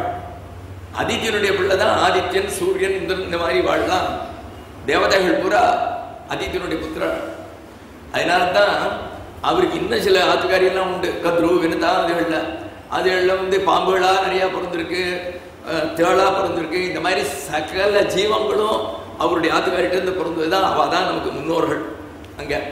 அதனால் யாருக்காவது என்ன கோத்திரம்னு தெரியலன்னா இங்கேருந்து போய் நீங்கள் ஆர்த்தி எடுங்கன்னு சொன்னால் அவர் என்ன கோத்திரம்னு கேட்பார் சில பேருக்கு தெரியாது. கோத்திரமாக நாங்கள் பிராமணா அப்படிம்பா. அது இல்லைப்பா அப்படின்னு சொல்கிறதுக்கு ஒரு தடவை ஆச்சு. அந்த மாதிரி ஒரு பையன் வந்தான். அப்பா திடீர்னு சொல்லி தெரியாமலாம் போயிட்டார் மேரட்டில் அவனை கேட்டால் அவன் பொருத்தம் தெரியல அந்த பையனுக்கு. அவன் லெஃப்டினெண்ட்டு அந்த மாதிரி அதுக்கப்புறம் நல்ல வேலையாக நான் எனக்கு ஞாபகம் வந்தது அவனுக்கு பூனை போட்டு மூணு மாதம் ஆச்சுன்னு. ஏன்ப்பா இந்த அபிவாதியை சொல்ல ஞாபகம் இருக்காரா ஞாபகம் தான் அதை சொன்னான் அதுலேருந்து கோத்தம் ஞாபகம் வந்தது. அந்த மாதிரி. அதனால் கோத்தம் தெரியல கஷ்டப்ப கோத்தம்னு சொல்லிவிடுவோம்பா ஏன்னா கஷ்யபர் தான் எல்லாருக்கும் ஆதி புருஷர் எல்லாரும் அங்கே தான் வந்தோம். அந்த மாதிரி. அதுக்கப்புறம் நாம் முக்கியமான ரிஷிகள் எடுத்துன்னு திரையார் பிரபலான் மூணு ரிஷிகள் அந்த மாதிரி எல்லாம் போட்டுட்டு அப்போ அந்த கஷ்யபருடைய பத்னி சாயந்தர வேளை ஒரு நாளைக்கு பிரதோஷம் முக்கியமான நாள். இந்த சாயந்தர வேளையில் பகவான் சிவன் இப்படி போய் உலாவிட்டு லோகமெல்லாம் இப்படி இருக்குன்னு பார்ப்பாராம். அந்த சமயத்தில் நாம் ஜபம் பண்ணினோம்னா ஜபம் பண்ணுறது முக்கியமான டைம் காலம்புற பிரம்ம முகூர்த்தம். அந்த சாயந்தரம் அந்த சாயங்காலம் சந்தியா காலம் இந்த ரெண்டுலேயும் பண்ணேன்னா அந்த என்விரன் பூரா சத்துவகுணம் நிறைய இருக்கும். ஸோ அந்த நேரத்தில் பண்ணிட்டேன்னா நம்ம தீவிரம் இருக்கிற அந்த இதுகள் எல்லாமே நமக்கு அனுகூலமாக இருந்து மனசு ஏகாகிரமாகும் சுலபமாக அதனால அந்த சந்தியா காலத்துக்கு தபஸ் பண்ணுறதுக்கு ரொம்ப விசேஷம். அந்த மாதிரி சமயத்தில் திதி வந்துவிட்டு வாங்க கொஞ்சம் பெட்ரூமுக்கு போகணும் அப்படின்னாலாம் அவர் சொல்லி கேட்காதனால அப்போ அந்த சமயத்தில் பிறந்த குழந்தை ரெண்டு குழந்தைகள் பிறந்தது. ஹிரண்யகசிப்பு ஹிரண்யாட்சன்னு. ஹிரண்யாட்சன் என்ன அர்த்தம்? The one who is after money money money gold எனக்கு பணம் தான் வேணும் பணம் தான் வேணும் கோல்டு வேணும்னு இருக்கிறவன் பேர் ஹிரண்யாட்சன்னு பேர். ஹிரண்ய கசிப்புன்னு அர்த்தம்னா அவன் லோப பிரதானம் இவன் போக பிரதானம் லோபம்னா இன்னும் ஒன்று இன்னும் ஒன்று கேட்குறது பேர் லோபம்னு பேர் பேராசை. ஹிரண்ய கசிப்புன்னா கசிப்புன்னா நல்ல கட்டில் நல்ல தங்கத்தால் பண்ணின பெரிய கட்டில் போட்டுட்டு படுத்துட்டு இருக்கான் அதாவது போக பிரதானம் அவருக்கு நல்லா போகம் சௌக்கியமாக இருக்கணும் இப்படி இருக்கணும் அது இருக்கணும் இது இருக்கணும் ஜெயிண்ட் ஃப்ரிட்ஜ் இருக்கணும் ஜெயிண்ட் டிவி இருக்கணும் அந்த மாதிரிலாம் நினச்சிட்டு நல்லா சௌக்கியமாக இருக்கணுங்கிறவன் அவன் போக பிரதானம் இந்த போகமும் லோபமும் நமக்கு வந்துடுத்துன்னு சொன்னால் அந்த ரெண்டையும் நம்மால் போக்க முடியாது. பகவான் தான் அதை போக்கணும். பகவானே வந்து அதை அழிச்சாச்சா? உண்டு. அதனால தான் பகவானே வரா அவதாரம் எடுத்துட்டு வந்து இவனையும் நரசிம்ம அவதாரம் எடுத்து இரண்டையும் செப்பியும் கொள்கிறார் வேற ஒருத்தரும் ஒன்றும் பண்ண முடியாது இதை திடீர்னு விட்டு பிரம்மா பார்க்கிறார். அந்த ஹிரண்யாட்சம் கீழே எடுத்துட்டு போயிட்டான் பூமியை சுருட்டி பாய் மாதிரி. ஒரே தண்ணியாக கிடக்கு பூமியை காணும். எங்கே சிருஷ்டியெல்லாம் உண்டு பண்ணா எங்கே உட்காந்து வைக்கிறது பார்த்தார். மனுஷார் நினச்சிட்டு இருந்தார் ஐயோ என்ன பண்ணலாம்? எப்படி இந்த பூமியை நம்ம உத்தாரம் பண்ணுறதுன்னு யோசிச்சுட்டு இருக்கிறத? இத்தபித்தாயதோ நாசவு. நாசவு விவராத் சகசானக வராகதோ கோஜரகாத்து அங்குஷ்ட பரிமாணகா இந்த மாதிரி யோசிச்சிருக்கிறத பகவானுடைய அந்த பிரம்மாவனுடைய மூக்கிலிருந்து இத்தினோண்டு அங்குஷ்ட பிரமாணம் பகவான் ஒரு வராக அவதாரம் எடுத்துட்டு வராக ரூபத்தில் கீழே திடீர்னு குதிச்சாரா இத்தினோண்டுக்கு. அவன் எல்லாம் பார்த்துக்கிறதுக்குள்ள பிரிஷா பாட்டுக்கு ஹிமாலயன் மாதிரி வளர்ந்து விட்டார் பிரிஷா போயிட்டார் அவர். கஜமாத்திர பிரபுதே க்ஷணேன கில பாரத. ஒரு க்ஷணத்தில் விடுகிடுகிடுன்னு வளர்ந்து விட்டார் வளர்ந்ததும் பார்த்தார் கஜேந்திரலீலோ ஜலமா விவேஷ. சடார்னு தண்ணீரில் குதிச்சு உள்ளே போயிட்டார்.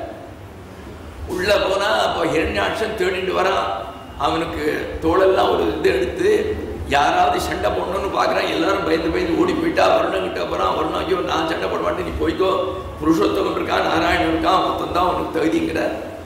இந்த மாதிரி அவன் அவன் கீழெல்லாம் பார்த்துட்டு எங்கேயும் காணுமேன்னு மேலே வர சமயத்தில் பகவான் இவனை பார்த்துட்டு பகவானை கண்டபடி அவன் திட்டுனான் நீ வந்து வெறும் மிருகம் தானே அப்படின்னு ஆமாம் அப்படின்னு சொல்லிவிட்டு அதை கொண்டு போய் ஸ்தாபிச்சு விட்டு கீழே வந்துவிட்டு அவனோட சண்டை போடுற. அவனோட சண்டை போட்டுவிட்டு அந்த வராக அவதாரத்தில் அவனுடைய சம்ஹாரம் ஆறுது அதுக்கப்புறம் இந்த ஹிரண்யாட்டு ஹிரண்டுக்கு வச்சு ஆவசியப்பு யார்? பகவான் கையால் அவளுக்கு மிருத்தியு கொடுக்கணும்னா அவள்லாம் ரொம்ப புண்ணியம் பண்ணிருக்கேன் யாருன்னா ஜெயவிஜயான்னு சொல்லிவிட்டு வைகுண்டத்தில் துவாரபாலகாலாக இருக்கா? பகவானுக்கு. இது என்னத்துக்காக சொல்கிறா நம்ம பகவானை சகுன ரூபத்தில் அடைஞ்சாலும் மறுபடியும் திரும்பி வரதுக்கு சான்ஸ் உண்டு. எல்லாம் பகவதிச்சேன்னு காட்டுறதுக்கா? பகவானுடைய பார்ஷதாளாக இருக்கா? வைகுண்டத்தில் இருக்கிறவாளுக்கு எந்த விதமான மனசு ராகத்வேஷம் இருக்கக்கூடாது. அத்தனை இருந்தும் அவங்க அங்கே வந்து சனக சனத்குமாரா அஞ்சு வயசு குழந்த மாதிரி இருப்பா. அவதூத்த வருஷம் அவள் அங்கேருந்து பகவானை பார்க்கறதுக்கு வரா. டே யாருடா அது? உள்ளெல்லாம் இப்பெல்லாம் போகக்கூடாது. அப்படின்னு அவளை தடுக்கிறான் அவள் ரெண்டு பேரும். ஜெய விஜயாள் துவாரபாலகாள் தடுக்கிறான் அந்த மாதிரி ஏன் அவளுக்கு புத்தி வந்தது? இவ்வளவு பெரியவா சனக சமுதிர சனசுமாரா இவாள்லாம் பகவானுடைய பிரம்மாவனுடைய மானசிக புத்திராள். இது முதல்லயே தெரியாத அவளுக்கு எத்தனை தடவை அவள்லாம் வந்திருப்பா? அதுதான் பகவானுடைய இச்சையில் எந்த நிமிஷம் ஒன்றுனாலும் என்ன வேணும் பண்ணலாம். அதனால நம்ம என்றைக்குமே பகவத் ஸ்வரத்தை நிறுத்த முடியாது. மோட்சம் கிடைச்ச அப்புறமும் நம்ம ஜீவன் முத்தாள ஆனாலும் அந்த பகவத் ஸ்வரணை பண்ணிட்டே இருக்கணும். இல்லைன்னா என்னைக்கு வேணால் நம்ம கீழே நடுவலாம் ஸ்லிப் பண்ணலாங்கிறதுக்காக இந்த கதை ஜெயவிஜயாளுடைய கதை. அந்த ஜெயவிஜயாள் அந்த மாதிரி பண்ணதும் இவன் அவனுக்கு சாபம் கொடுத்து விட்டா ரெண்டு பேருக்கும். நீங்க போய் அசுரகுலத்தில் பிறப்பேள் நீங்க பூமியிலேயே அசுராளா இருப்பேள் அப்படின்னு இந்த தகராறு கமோஷன் நடக்கிறத பார்த்துக்கிட்டு அங்கே உள்ளே இருந்து பகவானே வந்துவிட்டார் வந்துவிட்டு நீங்க பண்ணதெல்லாம் ரொம்ப ரைட்டு இப்படித்தான் பண்ணணும் உங்களுக்கெல்லாம் வந்து பிரதிகூலமாக யாராவது பண்ணினா என்னுடைய கையை பண்ணாரு இந்த கையை நானே விட்டு நாராம் சிந்தியாம் சபாகம் பிரதிகூல விற்பி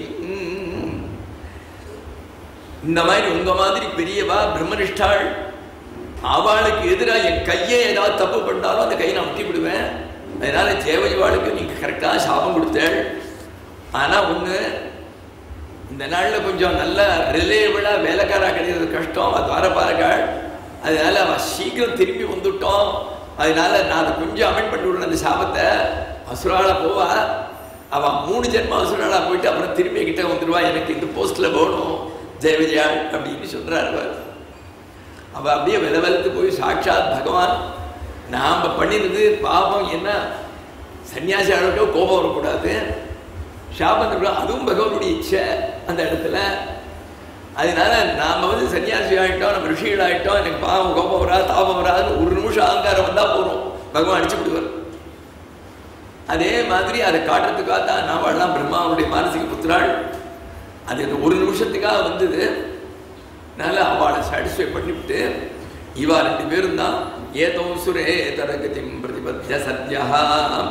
இவாள்லாம் அசுரலா போயிட்டு திரும்பி என்கிட்ட வந்துடுவா மூ ஜென்மம் அப்படின்னு சொல்கிறா அவள் தான் ஹிரண்யாட்சன் ஹிரண்யசிபுவானான்ட்டு அந்த கதையாச்சு. அதுக்கப்புறம் அடுத்தாப்போல வந்து விதுர மைத்ரேயா அவள் சம்வாதத்தில் மைத்ரேயர் சொல்லிட்டு வர இந்த கதைகள்லாம் பகவானுடைய லீலைகள் எல்லாம் சொல்லிட்டு வரதே அடுத்தாப்புல அந்த பிரம்மாவுடைய உடம்புல இருந்து பல பேர் பிறந்தா அந்த நாள்ல சிருஷ்டியில அதெல்லாம் சொல்லிட்டு வர அதுல சுவயம்பவனுங்கிறவர் தான் முதல்ல பிறந்தார். அதுல இருந்து தான் மிதுன விற்த்தின்னு சொல்லிவிட்டு ஒரு புருஷன் ஒரு ஸ்திரீ அந்த மாதிரி அவளுடைய சங்கமத்திலாம் சிருஷ்டி உண்டாகும்ட்டு முதல்ல ஆரம்பிச்சது அவர் தான் முதல் ராஜா அவர் சுவயம்பவனு அவரும் அவருடைய போய் சதரூபாங்கிறவும் ரெண்டு பேருமா பிறந்தார். முதல்ல அதுக்கப்புறம் அவருடைய சரீரத்திலேருந்து ஒவ்வொருத்தரும் பிறந்ததுல நாரதருடைய மடியிலிருந்து பிறந்தார் அப்புறம் கர்தமர்ங்கிறவர் பிறந்தார் இவாளெல்லாம் பிரஜாபதி அப்படி நீங்கள்லாம் போய் சிருஷ்டியை உண்டு பண்ணணும். இப்போ எல்லாம் காலியாக இருக்க லோகம் இனிமேல் சிருஷ்டி ஆரம்பிச்சானோ அப்படின்னு அவளை சொல்லி அனுப்புகிறார் அப்போ அந்த கர்தம பிரஜாபதி தபஸ் பண்ணிட்டு இருக்கார். அவர் தபஸ் பண்ணிட்டு இருக்கிறத அந்த இடத்துல சாட்சாத் பகவானை தாவல வந்துட்டு சொன்னார். பாருப்பா பிரம்மாவர்த்தம்னு ஒரு ஊர் இருக்கு.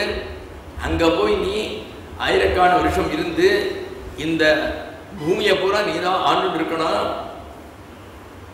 நாளன்னைக்கு உன்னை பார்க்கறதுக்கு சுவயம்பவன் வரப்போறார் அவருடைய பொண்ணை ஆக்சிடென்ட் தேவஹூத்திகள் ஆக்சிடென்ட் மூணு பொண்ணு தான் அதில் ஊற்றி தேவஹூத்தி ஸோ அந்த தேவஹூத்தி ஆக்சிடென்ட் இங்கே வரப்போறார்.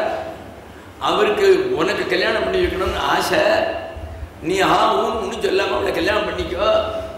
அதுக்கப்புறம் உனக்கு எல்லாம் கிடைக்கும். ஏன்னா சிருஷ்டி பண்ணியாகணும். சிருஷ்டிக்கு இதெல்லாம் அவசியம் அப்படின்னு சொல்லி சொல்லிவிட்டு அவர் போகிறார் மறுநாளைக்கு இங்கேருந்து சுவயம்பவன் வந்தார். வந்துவிட்டு சொன்னார் இந்த மாதிரி எனக்கு ஒரு பொண்ணு இருக்கா? அந்த பொண்ணை நீ கல்யாணம் பண்ணிக்கணும்? இது ஒருக்கா பாரு அப்படின்னு எடுத்து அவர் பொண்ணையும் ஆக்ஷன் வந்துட்டார். பொண்ணு அதுக்காரி எல்லாரும் ஆக்ஷன் வந்துட்டார். அந்த நாள்லேயே இந்த மாதிரி நம்ம வழக்கம் முன்னெல்லாம் அப்படின்னா பிள்ளையாத்துக்காரா பொண்ணாத்துக்கு போவா.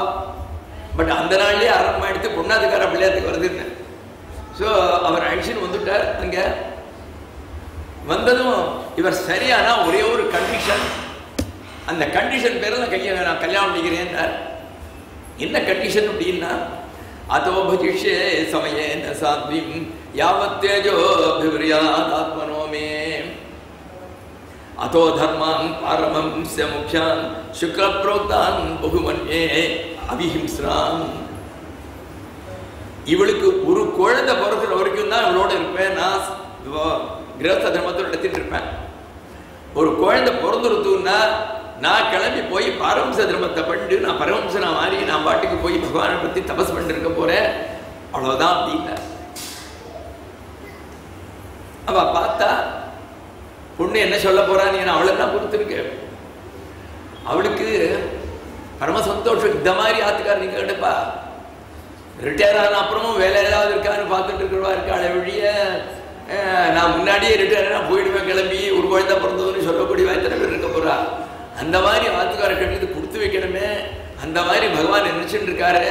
அதுவும் நமக்கு ஒரு நல்லதுதான்னு சொல்லிவிட்டு அவ சரி அப்படின்னு விட்டா அவனுக்கு அங்கேயே கல்யாணம்லாம் பண்ணி வச்சுவிட்டு பிரதஸ்தேர்த்தம் ஆருக்கிய சபாட்ரஸ் சோபுரம் நிருபா இதில் பாருங்க ராஜா வீட்டில் பிறந்த பொண்ணு இங்கே கர்தவர் ஒருவன் குடிசையில் உட்காந்துட்டு தபஸ் பண்ணி உட்காந்துருக்கார் அவளுக்கு அந்த மாதிரி தபஸ்வி வேணும்னு மனசில் வந்து அவரை கல்யாணம் பண்ணி விட்டா. பண்ணிண்டா அவர் என்ன பண்ணுறாருன்னா சரி கல்யாணம் ஆச்சு ஹனிமூன் இங்கே ஊட்டிக்கு போகலாம் அங்கே போகலாம் ஒன்றும் இல்லை. உடனே போய் உட்காந்துட்டார் ஒரு பாட்டு தபஸ் பண்ண ஆரம்பிச்சு தபஸ் பண்ணிருக்கார் வீட்டுக்குள்ளேயே வெளியில் போகல அவ்வளவுதானே ஒழிய வீட்டுக்குள்ளே உட்காந்து அவர் பாட்டு தபஸ் பண்ணிருக்கார் இவன் என்ன பண்ணுறாருன்னா அவருக்கு பணிவடையெல்லாம் காலம்பரை பண்ணிட்டு இவர் விழுந்துறதுக்கு முன்னாடி இங்கேருந்து புகழெல்லாம் கொண்டு விட்டு அவருக்கு ஒன்றும் ஞாபகம் இல்லை. அவர் பாட்டுக்கு பூஜை பண்ணுறார் பூஜை பண்ணிட்டு உட்காந்துக்கிறார் தமம் பண்ணுறார் தமம் பண்ணுறார் ஆத்துக்காரங்க ஒருத்தர் இருக்கான்னு அவன் மூஞ்சியே பார்க்கறது இல்ல இப்படியே இருந்துட்டு இருக்கா. அவன் என்ன மாதிரி அவருக்கு பரிவிட பண்ணினான்னா நித்தியம் பரிஜரத் பிரீத்தியா பவானீவ பவம் யதா அந்த பரமேஸ்வரன் சிவபெருமானுக்கு பார்வதி எப்படி பண்ணினாளோ அப்படி பண்ணினான்னா ஏன் லட்சுமி பண்றது இல்லையா குறைச்சலா நாராயணனுக்கு பாக்கி எல்லாம் எல்லாமே என்னத்துக்கு சிவனுக்கு பார்வதி பண்ணா போய் சொன்னார்னா சிவன் சதி போனதுக்கு அப்புறம் எல்லாத்தையும் விட்டுவிட்டு வைராக்கியாபுரமா வந்து உட்கார்ந்துட்டு அப்படியே உட்கார்ந்துட்டு இருக்கார் லோக சிந்தனையே இல்லை அவர் மூஞ்சி எடுத்து பார்க்கல.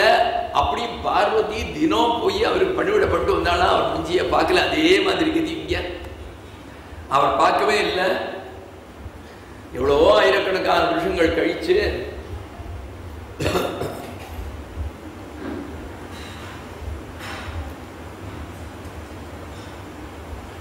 எத்தனையோ நாள் கழிச்சு அவர் கண்ணை திறந்துட்டு சொன்னார் அம்மா உனக்கு ஒரு நல்ல சமாச்சாரம். நிறைய தபஸ் பண்ண நிறைய லோகங்கள்லாம் எனக்கு பகவான் கொடுத்துருக்கார். கொஞ்ச நாளைக்கு நம்ம மகர்லோகத்தில் போய் ஜாலியாக இருக்கலாம். கொஞ்ச நாளைக்கு இந்திர லோகத்தில் போய் இருக்கலாம். கொஞ்ச நாளைக்கு வருண லோகத்தில் போய் இருக்கலாம். எல்லா லோகமும் கொடுத்துருக்கா. அதில் பாதி லோகங்கள் உனக்கு அப்படின்னு சொன்னார். அவ அழுதுட்டு கீழே பார்த்துட்டு காலாலே மூட்டி பண்ணிட்டு இருந்தா. ஏமா என்ன உனக்கு போறலையா? இன்னும் கொஞ்சம் ரெண்டு லோகத்தை உனக்கு கொடுக்கட்டுமா? அப்படின்னார். அப்படின்னு இல்லை பொம்மநாட்டுக்கு என்ன வேணும் ஒரு குழந்தைன்னா வேணும் இதெல்லாம் கொடுத்து நீங்கள் என்ன பிரயோஜனம் அப்படின்னார் உடனே அவர் வந்து தன்னுடைய தபோபலத்தினால ஒரு பெரிய சரசை நிர்மாணம் பண்ணி அதில் போய் நீ குளிச்சுட்டு வா அப்படின்னா குளிச்சுட்டு வந்தால் நல்ல யுவதியா இருபத்தஞ்சி வயசு கொண்டாட்டமாக வரா அவ. இதே மாதிரி கதை. வாச்சஸ்பதி மிஸ்ராங்கிறவ கல்யாணம் பண்ணாண்டியிலேருந்து சங்கரபாஷம் எழுதிட்டு இருக்கா பாமத்தின்னு ஒய்ஃப் பேர். அவர் ஆத்துல ஒருத்தர் தெரியல. ராத்திரி பூரா எழுதிட்டு திடீர்னு அவன் பாட்டுக்கு அந்த லைட்டை ஏற்றி வச்சிருப்ப. சாப்பாடு கொண்டு கொடுப்பலாம் சாப்பிட்டுட்டே எழுதிட்டு எல்லாம் எழுதி முடிச்சு ஆல்மோஸ்ட் முடிய போகிறது அன்னைக்கு ஒரு நாளைக்கு இல்லை. அந்த லைட்டு போயிடுத்து அது ஏதோ காத்தடிச்சதுல அந்த விளக்கு போயிடுத்து. இவன் உடனே வந்து இப்படி அதில் அந்த மேஸ்டிக்கை இது பண்ணி வச்சா. இவன் கையை பார்த்துட்டு அதில் வளையலான்னு போட்டு நீ யாரும் மாஸ்திரி ராத்திரி வேலையில் எப்படி அவனுடைய குடிசைக்குள்ள வந்த? அப்படின்னு கேட்குறார் ஐயோ நீங்க கட்டின வாத்துக்காரி நான் தான். முப்பது வருஷம் உங்களை வேலை பண்ணிருக்கேனே. அப்படின்னா ஐயோ நான் பெரிய பாபம் பண்ணிவிட்டேன். முப்பது வருஷம் உன்னை காக்க வச்சுவிட்டேன். இந்த பாஷ்யம் எழுதுறதுக்காக சங்கர பாஷ்யத்துக்கு பாஷ்யம். சரி இவ்வளவுதான் நான் பண்ண முடியும். இந்த பாஷ்யத்துக்கு உன்னை நிலையா உன் பேர் இருக்கு. அவளை பாமதின்னு வைக்கிறேன்னா பாமதிங்கிற பாஷ்யத்தை எழுதினார். அதே மாதிரி இவா பண்ணிவிட்டு அதுக்கு பிராயசித்தமா ஒரு பெரிய இதை பண்ணி அவளோட கூட இவர் வந்து ஒரு பெரிய விமானம் பண்ணிவிட்டார். அவள் குடிச்சிட்டு வந்ததும் அந்த விமானம் எல்லா இடத்துக்கும் போகும் அதுக்கு பைலட்டே வேண்டாம் இவர் மனசால் நினைச்சாருன்னா அந்தந்த இடங்களுக்கு போகும் பல லோகங்களில் போய் அவரோட கூட ரம எல்லாம் பண்ணிடுறா கடைசியில் அவளுக்கு ஒன்பது பொன் குழந்தைகள் பிறக்கிறது அதோட இன்னைக்கு நிறுத்திப்போம் स्वस्ति प्रजाभ्य परिपालयन्तां न्याय्येन मार्गेण महिं महिषा गोब्राह्मणेभ्य शुभमस्तु नित्यं लोकाः समस्ताः सुखिनो भवन्तु काले वर्षतपर्जन्य पृथ्वी सस्यचारिणी शोभरीता ब्राह्मणाः निर्भयाः सर्वे भवन्तु सुखिनः, सर्वे सन्तु निरामयाः, सर्वे भद्राणि पश्यन्तु, मा कश्चित् दुःखभाग् भवेत् कायेन वाचा मनसेन्द्रियर्वा बुद्ध्यात्मना भावकृते स्वभावात् करोमि यद्यत् सकलं परस्मै, नारायणाय समर्पयामि नारायण नारायण नारायण नारायण नारायण नारायण ॐ